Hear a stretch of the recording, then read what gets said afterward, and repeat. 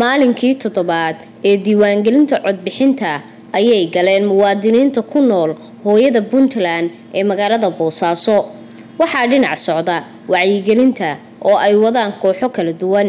Kooxda wacyigelinta dadweynaha ee daljir oo wata baabuurta codadka meel dheer laga maqlo waxa ay wareegayaan xaafadaha kala duwan ee magaalada.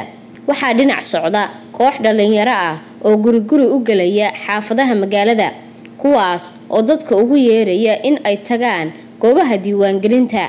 Guddiga ku-meelgaadhka ee doorashooyinka puntland ayaa kor u qaadaya wacyigelinta muwaadiniinta si fursadda ay uga faa-iideystaan maadaama maalmo kooban uga dhiman tahay wakhtiga loo asteeyay inay socoto diiwaangelintu. Cabdiraxmaan yuusuf axmed waxa uu hormuud u yahay mid ka mid a kooxaha dhallinyarada ah ee u xilsaaran wacyigelinta albaab garaaca ee dadka lagu wacyigelinayo inay u soo baxaan goobaha diiwaangelinta.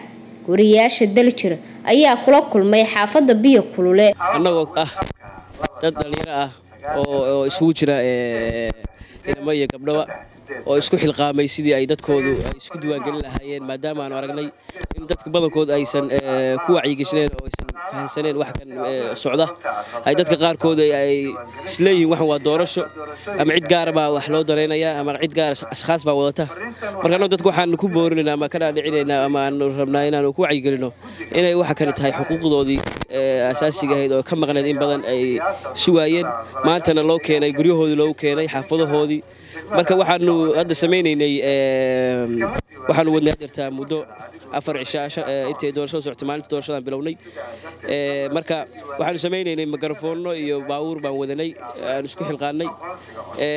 Magarafoonnadii baawuurtii markii laga yimaado waxaan samaynay hadeertaa maadaama aan ogaanay dadku inay marka ay dhegaystaan dhegta jalaqu siinayn. Waxaanu bilownay hab cusub aan rabnay inaan ku wacyigelino waxaanu samaynay xaafadda tiim waa iskala qaybinay. Waxaan isku qaybinay xaafadda muxuu ahaa sonayaheeda marka waxaan samaynaynaa guri walba waan garaacaynaa dadka ku nool baan fiirinaynaa dadka inay yihiin dad intay tiro ay yihiin. Marka waxaan weydiinaynaa inay isdiwaan inay isdiwaan haddaysan isdiwaan waxaan u tilmaamaynaa meesha ugu dhow iska diiwaan gelinayaan. Kaga taalla.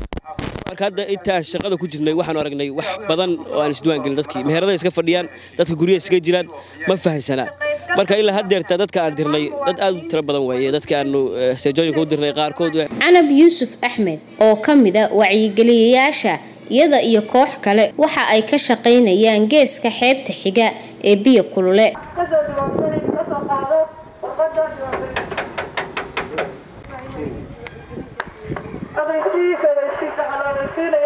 Wariyaasha daljir ayay kula hadashay agagaarka saldhigga biyo kulule oo ay wacyigelinta ka wadaan iyada iyo koox la shaqaynaysa.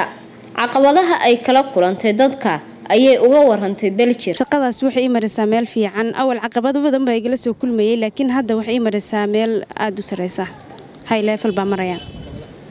Caqabadaha aan kala soo kulmay waxaa ka mid ah inay dadka qaybtood xisbiya ii magacaabayeen oo dhahayeen isma diiwaangelinayna haddaanaan xisbi hebel u codaynayn waxaa kaloo ka mida inay dadka qaar dhahayeen isma diiwaangelinayno kaarar baan leenahay w f b waa naga gubanayaan. Walow aan taa ka jaahil saaray oo khubro u xeel dheer aan u geeyey oo aan shaqo badan u galay. Waa dad badan weeye oo maamooyin u badan weliba. Falceliska bulshada aan kala kulmayey waa inay labadaa kelmadood bay gu soo noqnoqonayay bulshada waxaa moodaa inay isku horta deegaan waaba yihiin oo isku meel bayba joogaaniinoo guri walba wuxuu leeyahay faamil oo waa sii gaarsiinaya. Wixii baaba sii fiday laakiin hadda inaan soo cirib tirayo baan rajaynaya cabdiraxmaan cabdiwaaxid oo isaguna ka mid ah kooxaha wacyigelinta ka wada xaafadaha boosaaso ayaa ka mid ah dadka aanu waraysanay maanta. Daljir ayuu u sheegay inay najiito fiican kala kulmeen intii ay wadeen hawsha diiwaangelinta ah. Runtii waxa weye maxsuul fiican baa nooga soo baxay. Tan iyo maalintii aan wacyigelinta bilownay. Maantadaas aan u dambayso oo aan wacyigelinta wadno waxaan la kulannay dad isdiiwaan geliyey iyo dad aan isdiiwaan gelin qofka aan isdiiwaan gelin waxaan u sharaxaynay faa'iidada ay leedahay inuu isdiiwaan geliyo. Qofka isdiiwaan geliyana waxaan ku boorinaynay inuu annaga sidaan isu xilqaano isu xilqaamo. Dadkiisa bulshadiisa u wacyigeliyo kuna wacyigeliyo inay isdiiwaan geliyaan. Waxaan u sharaxaynaa mar walba guryaha iyo suuqyada kulliba qof walba waxaan ugu sharaxaynaa faa'iidada ay leedahay inuu isdiiwaan geliyo in waxa lagu tartamayo tirabandi magaalooyinka ku tartamayaan baan ku boorinaynay. Waxa magaaladaadii magaalada boosaaso aan maanta aan wacyigelinta ka wadno haddii ay noqoto magaalo dad yar oo magaalooyinka kale oo doorashooyinka loo wado gobollada kale sida gobollada nugaal iyo mudug markii doorashada la geeyo diiwaangelinta markii la geeyo.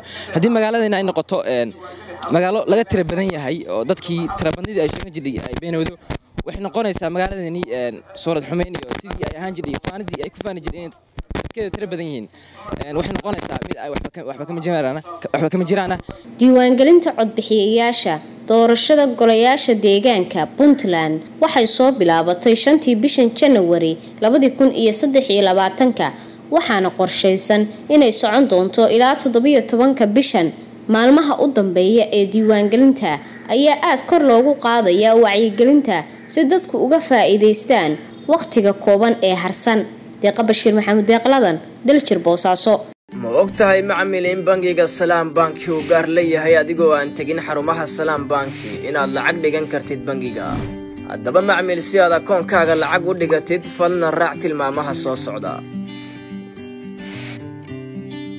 Garaac xidhig siddeed siddeed lix xidhig akoonkaaga bangiga salaam xidhig lacagta aad dirayso kadibna afargees ku qor macluumaadkaaga faahfaahinta lacagta aad dhigaysid si aad u hesho tixiraaca geli lambar sireedkaaga sahalka si aad u dhigatid lacagta. Waaw macmil waad ku guulaysatay inaad dhigato lacag akoonkaaga ku raaxayso oo isticmaal adeegyada salaam bank